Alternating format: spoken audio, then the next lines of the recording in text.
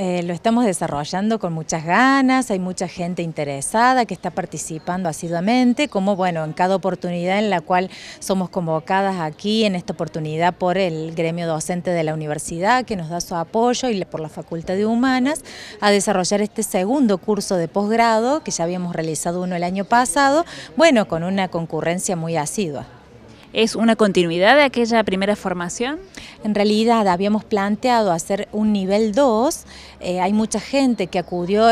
durante el año pasado a esta formación, este año vamos a trabajar en un nivel de profundización de algunos aspectos que ya habíamos em, comenzado a trabajar el año pasado. De todos modos se sumó gente que no había concurrido el año pasado, por lo cual bueno, siempre vemos en las cuestiones más generales que tienen que ver con la normativa, la ley de educación sexual integral, toda la normativa que eh, de alguna manera eh, contempla esta ley también y bueno, algunas cuestiones más generales que siempre hacemos como un repaso y bueno, luego vamos profundizando algunos aspectos. Y justamente en este sentido, ¿qué cuestiones se tienen en cuenta al momento de hablar de educación sexual integral? Bueno, trabajamos el concepto de sexualidad como propio del ser humano, en su eh, completud, como un hecho fundamental del ser humano que involucra todos los aspectos, no solo lo que tiene que ver con el sexo, el sexo biológico, diferenciándolo también y, y abordando el concepto de identidad y también trabajamos todo lo que tiene que ver con las relaciones humanas, el respeto, la aceptación, la no discriminación, las situaciones de abuso, vulneración de derechos, violencia.